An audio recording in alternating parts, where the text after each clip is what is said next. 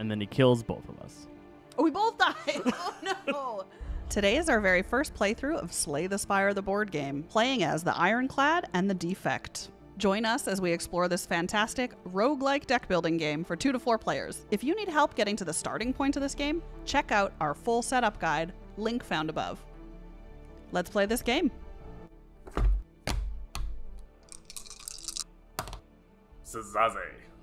Gain three money and a card, then choose an option below. Gain five money, add a random rare card to your deck, or gain a rare card and lose three money. Yep.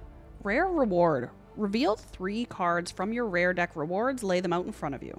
You may add one to your deck. Return the unselected card to the bottom of your card rewards deck. So I gain three gold. I spend that three gold to get my gold card. So I'm getting gaining one rare card and one normal card. So for my normal card, I reveal three cards from the top of my deck. I've got Blizzard, Melter, and Fusion. Hmm. I'm going to take Melter as my starter card. Melter removes all armor from the target and then deals that target 2 damage. The rest of these cards then go on the bottom of my rewards deck. Then I get to draw three rare cards and reveal them.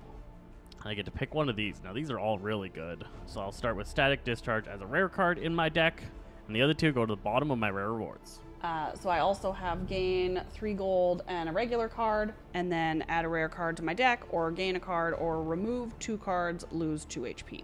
All right, I get three money, please. And I am going to remove two cards and lose two HP. So the reason you would remove cards, if you're not familiar with Slay the Spire, is to simplify your deck down and make it so it's more likely you draw stronger cards.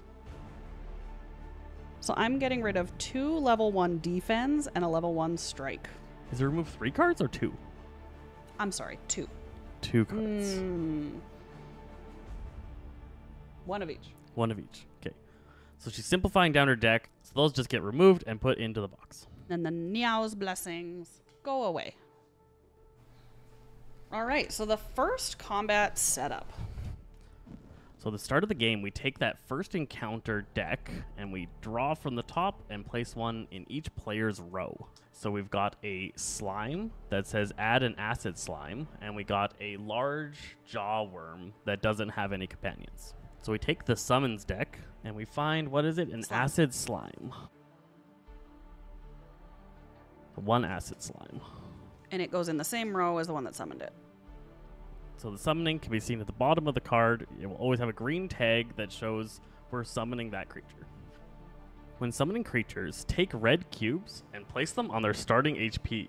Now let's talk a bit about the anatomy of a card. This jawworm has HP, rewards, a name, and then it has what it does on its turn. So on its turn, you're going to roll dice, and then whichever result the dice comes up as, you roll a single dice, and if it's a 1 or a 2, it does this ability. If it's a 3 or a 4, it does that ability. You have to kind of get a sense of what your opponent is going to be doing to you. So in this case, he's going to gain strength and armor. He's going to deal 2 damage or 3 damage. He's much more likely to deal damage than to get that first effect, and he's going to deal 2 to 3 damage. B is fighting one that's guaranteed to deal 1 damage every turn, and then one that's most likely going to deal 2 damage but might wound her or daze her.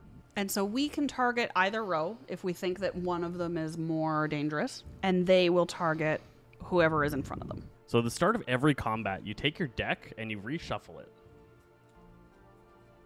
You also reset your energy to three and your block to none. Your hit points will remain whatever level they were at the end of the last encounter. Players can discuss strategy, such as which enemies to attack, which players need help. It is encouraged to announce if you have weak or vulnerable effects, as well as to ask questions like how much damage have you taken, or do you have enough block, rather than look at a player's hand. All right, start of combat. How many cards do we draw? Five. Each player draws five cards. And there is no maximum hand size. So at the start of combat, I channel one lightning as my passive ability. So my passive here is channel one lightning. So I fill this orb with one lightning orb. You should probably have colored They are supposed to be colored. orbs. Yep. One yellow orb is lightning. That's why there's purple. That's why there's purple and blue. Yes. Okay. I'm going first. I'm going to cast three strikes. So I have three energy, Sure. and that eliminates this first slime. Okay. So three slashes, all three of your energy. She's taking the risk that the other slime is not going to roll a two, or she's willing to just take the two damage. So you're actually supposed to roll the dice before you take your turn, and that way you know exactly what the monsters are going to do. We play this wrong for a couple of turns, but then sort it out. Those strikes go into your discard pile. You are out of energy. I'm going to use one energy to play a defend, one energy to dual cast my lightning orb, and one energy to cast a strike. So I'll gain one block. I will deal one damage to your slime, and then my evoke lightning orb. When invoking lightning, it deals one target two damage. Oh, so so that I will deal twice. two damage twice and kill the acid Oh, slime. nice. When players are done playing cards, end of turn abilities happen, and you discard any remaining cards in your hand. All right, so our remaining cards go away, and that is the end of the turn. Then the enemy turn happens. So roll me a dice for the jaw worm for attacking me. That is a six. So it deals three damage. I have one block. So my one block is going to go down, and then I take two damage. Ouch. Ouch. That returns it to our turn. Drawing five new cards, How do you have so many more cards in your deck than I do? because I added two and you removed two. Right. so I have to shuffle because I don't have any cards left. So I shuffle these and they go back into my draw pile. So that previous turn hurt a lot. I am going to, on my turn, cast two defense and one melter, using all three of my energy to get two block and deal two damage to the jawworm. I guess I was supposed to go first there. We can go back and forth. It Yeah. doesn't seem to matter. Yeah. As long as we're only taking one turn. It, it, do we have to be separate, or can you do some moves and then I do some moves as long as we have energy? It says in any order they choose. Play cards, use potion, and activate abilities in any order they choose.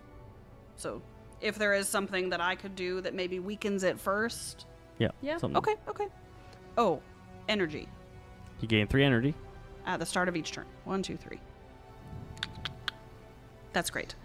I am going to go ahead and use a bash, which weakens it.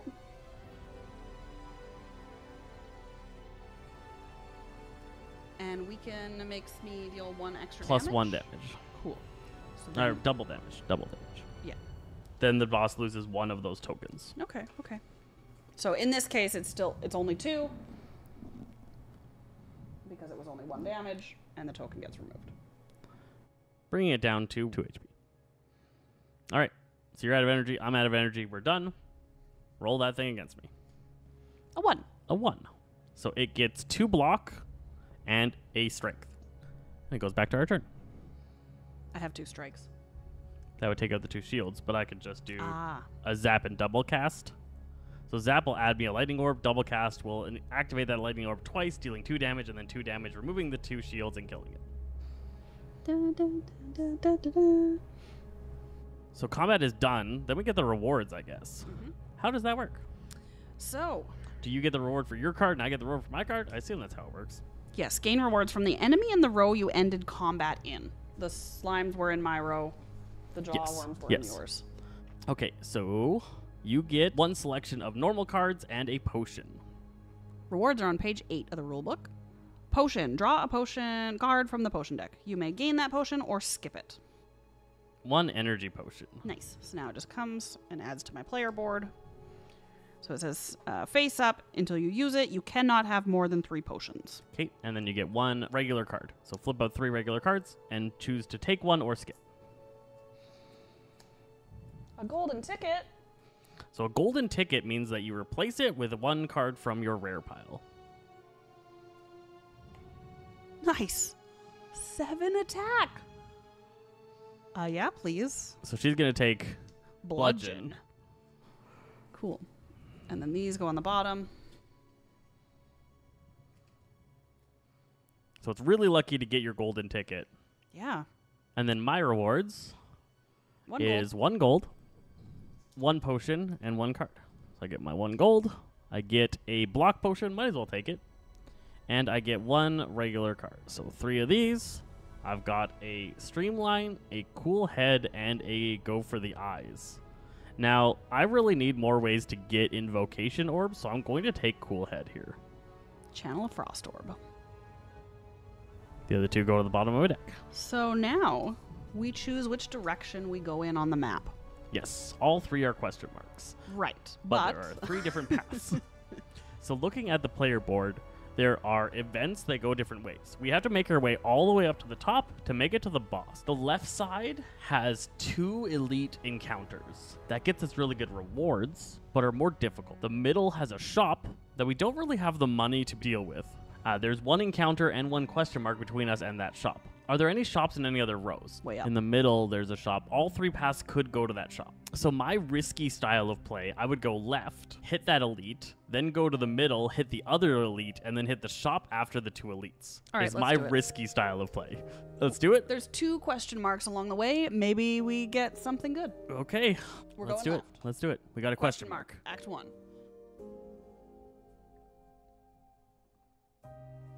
Kachow. Wing statue. You notice an intricate, large, blue statue resembling a wing. You find gold glinting from its cracks. Maybe there's more inside. Pray, remove a card, lose 2 HP, or gather, gain 2 gold. So, how does this work? Do we both get to do the things? Yes. Event. Draw a card from the event deck. If there is text in yellow brackets, each player must choose one of these options. I'm going to lose 2 HP and remove a card from my deck. I'm going to remove one of my strikes. I want two gold, please. You can have 2 gold. Also, don't forget to use your end of combat ability. Oh, thank you. I heal a health. All right, then we go again. Another question mark. Next up, we get the Wheel of Change. The wheel of change. It's time to spin the wheel. Are you ready? Of course you are. Roll the die. Each player rolls separately. That looks like a four. That's a 4. That's a four. It's a 4. I get treasure. Wow. Nice. I get this treasure token. Ka-chow. The courier. The courier. Once per combat, look at the top card of the potion or treasure deck. Buy it or discard it. Nice. That's cool. It's pretty cool. That could get expensive. That's a three. That's a 3. Remove a card. Nice. Nice. Both really good. I'm gonna have such a tiny deck, you guys. I'm gonna get rid of a strike. She's super excited about how small her Well, deck. I, and I had accidentally uh, threw my discards over here, so Oh. I was like, "Oh, what did I remove? A strike, a defend, and now a strike." So three cards gone. Next is an encounter. So each of us gets one encounter token? That's, I guess. Other encounters. Draw one encounter per player. So you get to fight a red louse. And I get to fight a cultist. with a spike slime. And So I have a spike slime and you have two other louses. all right, there's a lot more monsters this time. Combat start, we draw our five cards. So cultists every turn get stronger. They start pretty weak and they have nine health.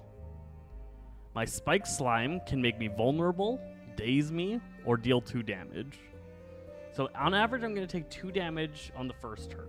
I could possibly take three. What's going on in yours? Yours is a lot. They have curl up. The first time they take damage, they get a shield. So if you don't kill them in one hit, they get a shield that then protects them. Correct. Interesting. And they each have different attack values and are kind of all over the place. So the cultist is going to deal one damage and then two damage, and after that he starts to get out of control. So needing to kill his nine HP rather quickly. So I think I am going to use two defense uh, because that damage is coming at me. So that's going to give me two block, and then I'm going to summon a zap, channeling one lightning. And that'll be all of my energy. All right, I will use a bash and weaken the cultist.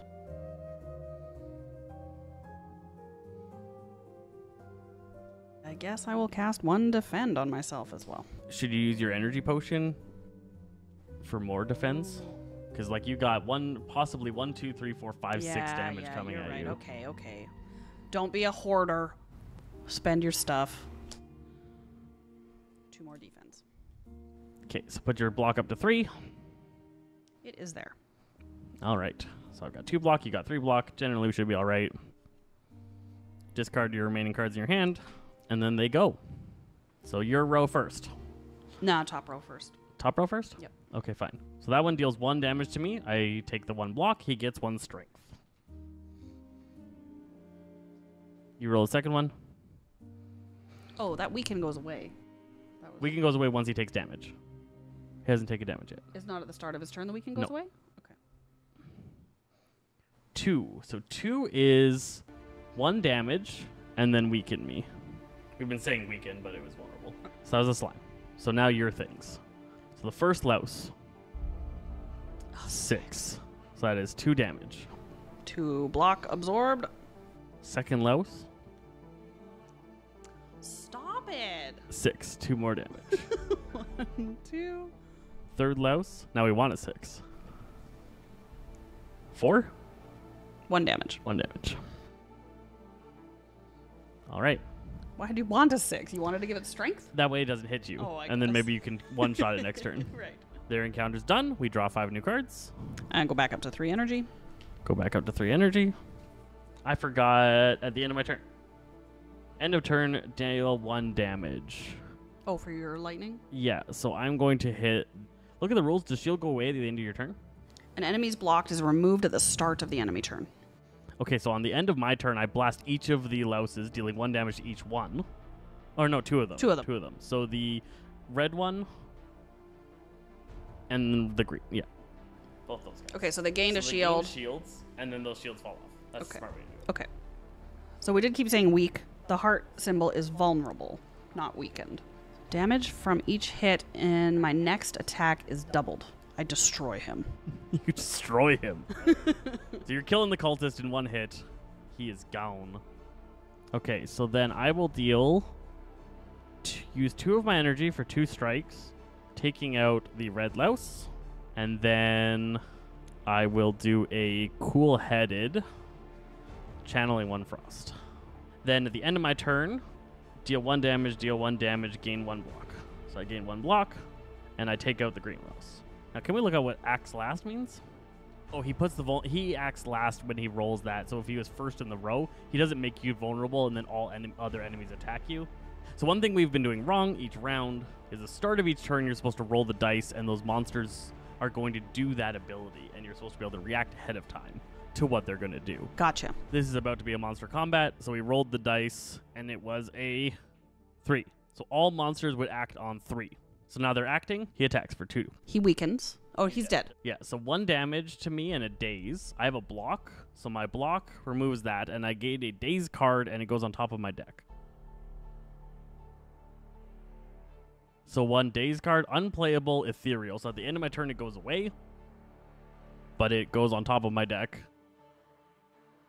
and my block blocked it. You take two damage. So that'll let us predict what we need to block and have a lot less guessing when we're playing our cards. So I take two damage. Okay, so then it's back to the next turn. We draw our new set of five, shuffle our decks if we have to, which you have to all the time. I have to every time. Okay, so now we roll the dice. and we know all monsters are doing their two. So he's getting stronger, which means we don't necessarily have to kill him this round. Right. And then the other guy is Gonna hit us. For one damage. for one damage and add a weaken. Oh, and when he hit me, I had a weaken. How much did he hit you for? One, so it was two. so it's two. So I take one damage. I'm at four. I'm hurting. All right, I'm just gonna bludgeon again. So you're killing that slime? I kill that slime. He can't hurt you anymore. Thanks. This louse has not done curl up yet. So this is a lot of uncurled.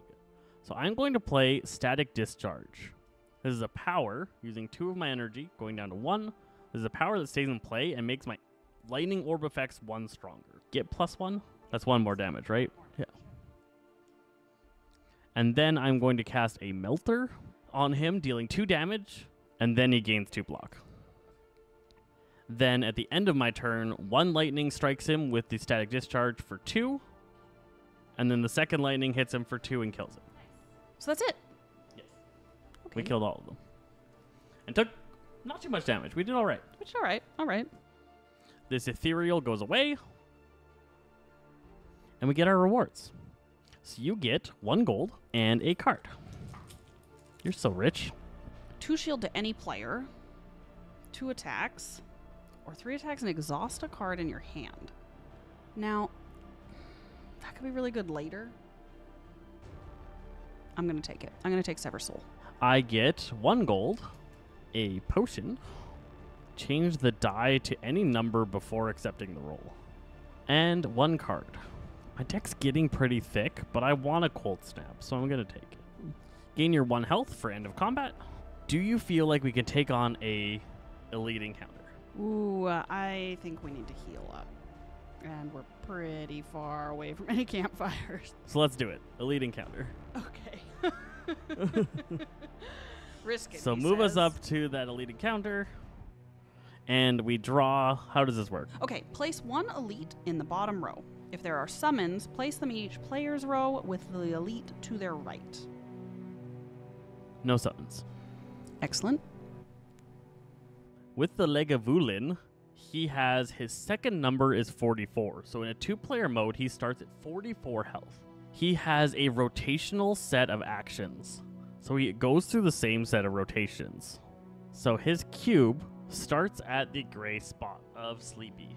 He starts sleeping and will not do anything in the first round. In the second round, he's going to hit both of us for four, then hit both of us for four, and then weaken both of us and become stronger and then he'll go to the top. And so every round he's going to do that rotation, and we know what he's going to do each round. Uh, it does say the bottom player always goes first. Oh, where'd you see that? Um, If simultaneous turns don't work for your group, we can work together. We're a good group. so we want to do any damage that we can and any setup that we can right now when we know he's not going to do anything. We don't need to defend. Well, I have this fancy card that I just keep playing. So you're just going to smack him. I'm gonna smack him, unless you have a weaken first. I don't weaken. All right. Well then. So you're spending all three of your energy to do seven of his 44 health, putting him down to 37. I am going to zap and static discharge with my three energy, gaining me another lightning orb and powering up my lightning orbs for the rest of the game. Then at the end of my turn, both of my lightning orbs zap him for two damage each for four damage. We discard our hands because we are both at zero energy. So he goes and he sleeps. He is now awake, and we know he's going to hit both of us. That's what this red symbol means. Is he hits all active players. So we know he's going to hit all of us, and he's going to hit us all for four damage. We draw our five new cards and begin our second phase. So, if we can get vulnerable on him, and then you next turn do your big smash, Oh, yeah. it'll be double, Mhm. right? Right. So we want me to go first and not waste your thing. Now, do you think vulnerable works with lightning orbs? So on page 24, it does confirm that damage effects aren't hits, and hits exclusively use vulnerable. So the evocation of my orbs does not trigger vulnerable. So I'm going to strike him with one energy, and then use two energy for two defense. And I'm going to drink my block potion to gain two more defense, putting me at four defense. Uh, I will spend my two energy, bash, and weaken him, and one defense. Uh, I don't need that. I need this. Okay, discard your remaining cards. And he goes. So he strikes both of us for four damage. Ouch. I have four block, so I go down to zero. You take three damage. I do. I am at three health. At the end of oh, at the end of my turn, I blast him for two four. 28. 'Kay. And I heal one. Oh, at the No, end, of combat, combat. not each turn. Reduces orb down He is on turn three. and draw your five new cards. Restore to three energy. Hey, look at this fancy card I got. Bludgeon. You want to do 14 damage to him? I sure do. You're gonna die though. What? Okay. Do your 14 damage.